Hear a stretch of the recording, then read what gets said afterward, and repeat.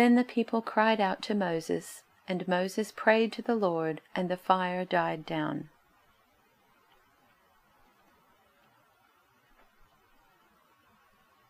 But the people cried out to Moses, and Moses prayed to the Lord, and the fire abated.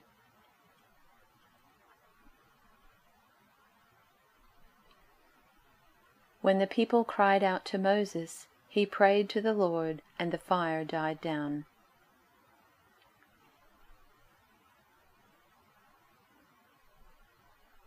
Then the people screamed to Moses for help, and when he prayed to the Lord, the fire stopped.